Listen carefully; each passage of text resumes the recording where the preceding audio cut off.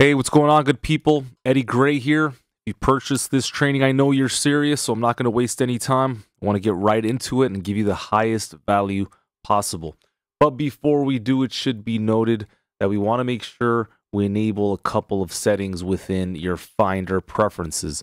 Click on the background of the screen, and here you will find your Finder in the menu bar, and go ahead and enable that uh, it's the same key command as the logic preferences, which is command comma. Go ahead and enable your hard disk, any external drives that you may be using. And then within sidebar, go ahead and enable documents and downloads. Take off anything that's not valuable to you personally. And then down here, be sure to enable your computer, hard disk, external disk, and then recent tags all the way at the bottom. All right my goal is not necessarily that you use my system, but that you find your workflow, something that really resonates with you, where you know where every single file is, you feel clear, and you're moving forward with ease. So I've done all the legwork for you. Now it's time just to take notes, maybe even rewatch this to understand the entirety of the subject. Quick disclaimer I'm not some whiz or anything like that. I just work hard and I'm disciplined and I'm all about the life. Quick word about my setup I'm using Logic, which I'll basically use to differentiate the difference between a user preset, a plugin default preset, and then a plugin user preset, which are three different things. Uh, so stay tuned for that. I've tried to make this as easy as possible because it's a dense subject, but let's get right into it. Uh, I made a claim when we first started that there are a bunch of folders. They have similar names, but they're found in different places. It's an absolute mess. And so, what I want to do here is just try and make this as streamlined as possible. Now, we do have to point out two things. There is a hidden user library, which is really bananas. So, if I click on user, uh, inside of this Eddie Grey folder, we should have a library folder that shows up. There's two ways to bring it up. If I go into the Go menu up here and I hold Option, you can see that it does pop up here. This is not going to be permanent though, um, so that's not going to work for me. There is a second way, which is not ideal either, but it's hit the key command Shift Command period, and that will bring up the library there. So I understand why Apple does this. They do this to protect our computers so we don't trash them and mess them up. But for Logic users, we need some of these files. So go ahead and either drag that into the sidebar or tag it as I have done here. So again, I'll hit Shift Command period, go back to the smooth look that we're so used to. So I'll click on purple, which are my audio settings, and let's go ahead and get started. The first of the bunch are the Apple loops. Now there's actually three folders to look at for Apple loops. One of them is inside the library path, the other is inside users, and so is the third. So if I go into the library audio Apple loops, here we find the default loops for Logic. If we go down the second route, which is the library or the user library rather, you can see that I've saved that in the sidebar, so it makes it really easy for me to access, I go into audio and here are my user loops. So these are loops that I've created myself. Well, similar file path. Uh, if I go to users and I go into music under audio music apps, we have untagged loops. And these are loops that I've dragged in from outside of the DAW. There's a difference between the default loops here, the user loops here that you create within Logic and then dragging something from outside here and dragging it inside of the loop browser. That's going to create what they call an untagged loop. You would have to literally drag it into the loop browser over here. And what are the benefits? Well, the benefits are that you don't have to create any metadata. So if you just want to work quickly and drag in a snare from Splice or from initial audio or something, you can do that. So here are three different locations. Very important to note to tag. And again, not expecting you to set this up the way that I am, but I do think it's important to look at all this stuff. Um, I did say there were two things I just remembered that. So you have a hidden user library, but there's also a preference folder, which for whatever reason is not popping up for me, uh, but it is within the user library or the hidden library, and it's right here, preferences. Now you can see I've tagged it, but for whatever reason, it's just not wanting to pop up within this setting here.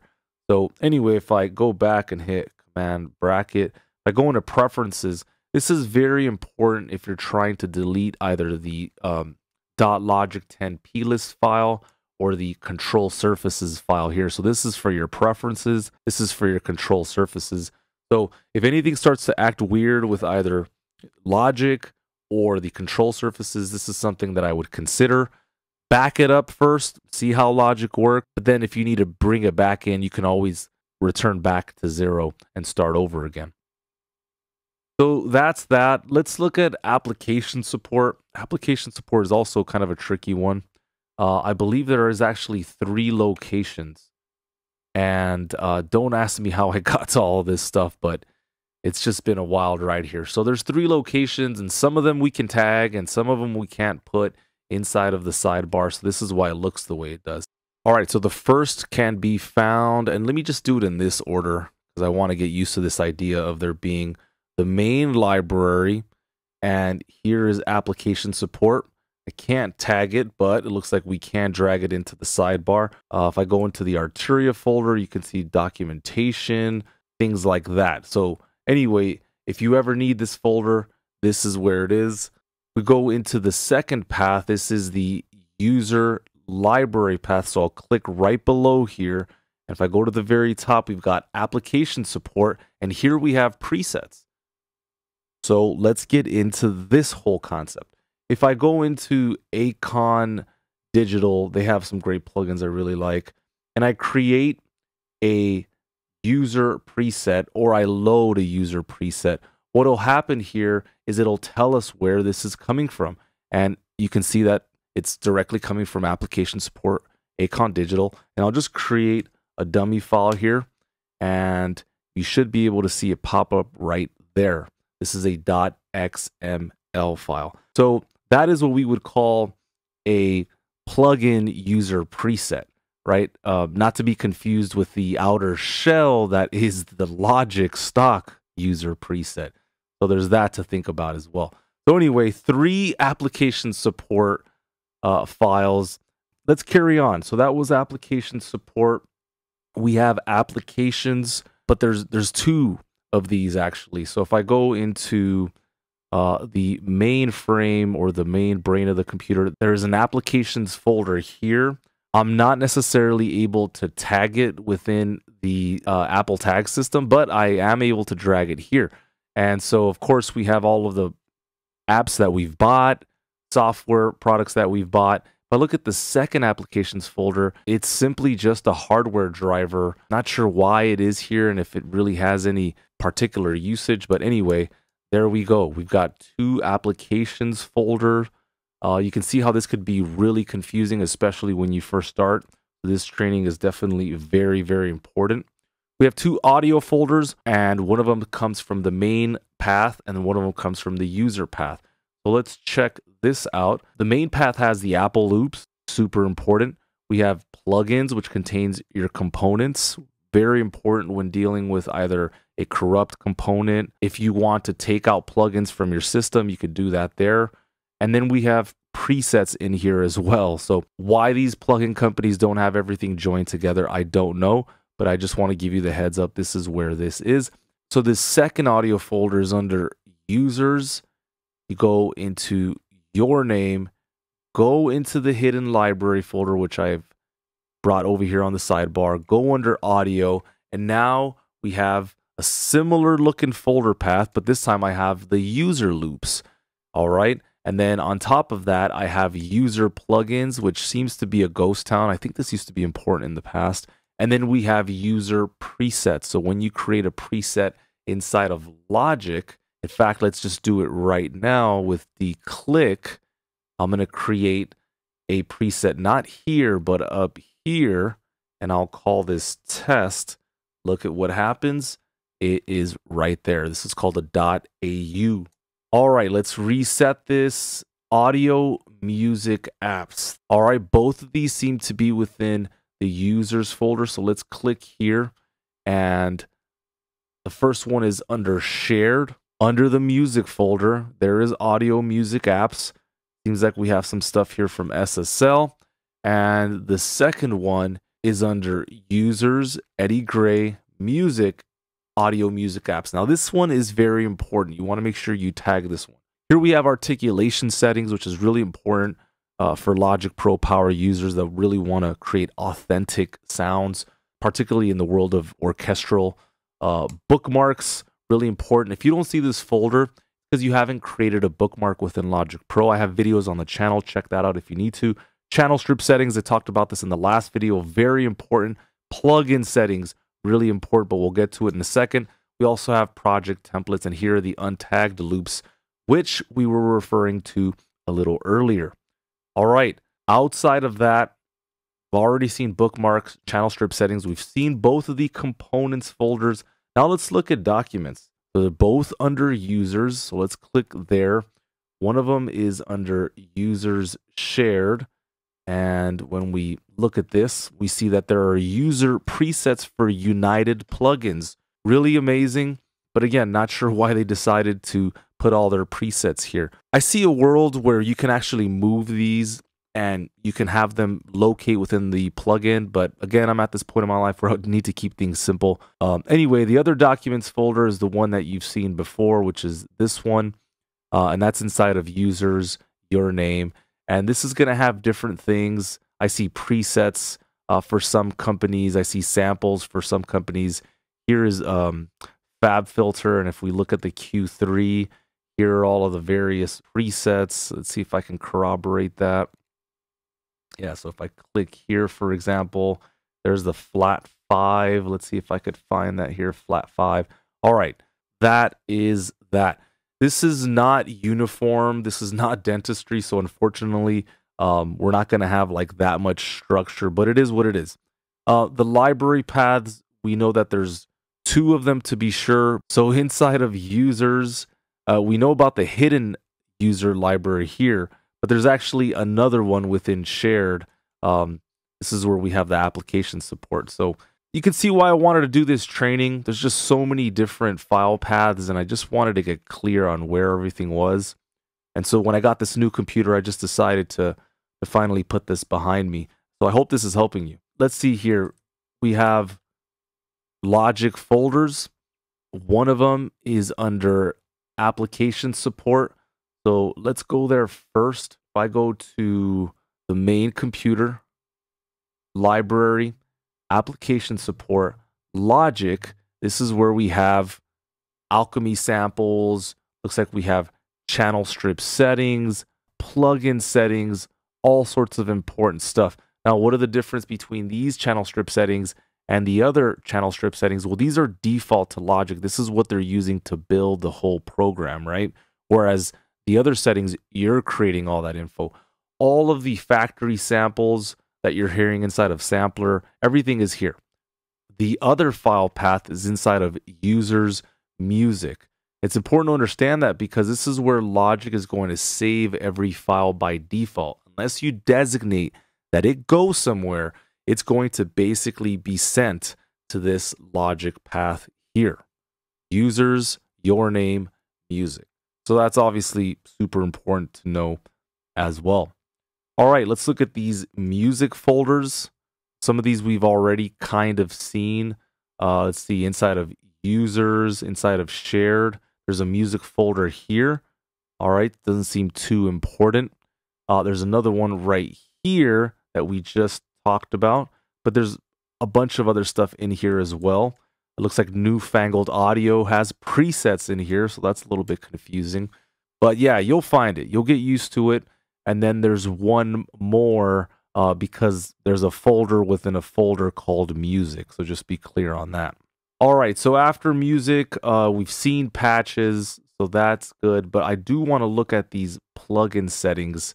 Uh, the plugins are where you're going to find the components, so we've gone over that. Presets are found all over the place, not just within these two folders. Uh, but plugin settings, let's look at that.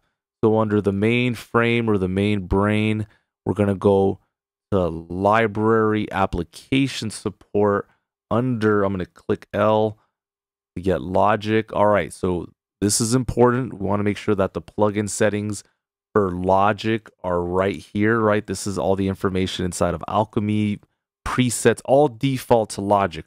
The user stuff is going to be found here under music, audio, music apps, plugin settings. And that's really the main difference. For example, if I go find an EQ and create a test, you can see that that is going to show up as a dot preset file or PST file. So just be aware of that. I hope this is encouraging you. Uh, again, I don't have all of this sorted out. Just doing the best I can here and just kind of breaking it down day by day. These preset files are going to be unique to the library path and the user path. Let's take a look at those. If I go here, library audio presets, all right, we see presets by various companies. All right, let's continue on. We got project templates, but one of them has to do with the presets that you make yourself, and one of them has to do with uh, what Logic is offering uh, just by default. So let's go to, again, mainframe. Let's go to library. Let's go to application support. Logic is right here. Project templates. This has an orchestral.logic file. So we can check that out later. Uh, but then right below that, let's look at the user path. So here's users, Eddie Grey, music, and then under the audio music apps, we have the project templates here. And these are templates that I'm creating for my system. So uh, this is equivalent to coming over here somewhere, uh, file, save as template, and this is where you save all of that pertinent information. Okay, let's look for the last ones here. Um, so we've looked at everything thus far. I do think that there's an important folder called shared that you're going to have to be able to access from time to time. So if I go into the users file path, shared has a bunch of information. If you're a native instruments collector, there's a bunch of stuff that's stored here, but also stored within the uh, documents folder as well. So just be hip to that. So hopefully this gives you a better sense of how to look for plugins. Um, I believe these are all the plugins that you're going to need. Uh, before you go, I do want to share just one more document that I find to be important that I've been playing with. Um, this seems to be all the different places where you can find either manufacturer presets or user presets down here. So be sure to take a screenshot. You want to do your own investigation, and I won't be surprised if you find a file path or two that are not contained within this list. But again, it's very easy. You're either looking within the main computer or you're looking within the user path. So with this first one, uh, we're looking at the main computer. We're looking at library, audio, and then presets. And we've seen a couple of presets here. All right. The one right below that looks like it's a user path and they have manufacturer presets. Why? I don't know. But let's look at it. Users. This is the user library. I have that shelved here uh, under application support. Here we have some manufacturer presets. So we did this example earlier with Acon Digital, I believe, where we created a test file. But let me just be sure here. If I save user preset, uh, application support, is that the same? Yeah, so this is the same file path here. So anyway, go ahead, finish off this research, tag everything accordingly so you know where everything is, put stuff in the sidebar that you want to go ahead and access from time to time. And if there's anything else you need, hit me in the comments. This is not something that happens overnight. Keep pushing, keep evolving. You're eventually going to find enough power and you're going to have the ability to concentrate longer and longer as you go along. So, thank you so much. I hope you found this to be useful and let me know what you think. Take good care. I'll see you on the next one.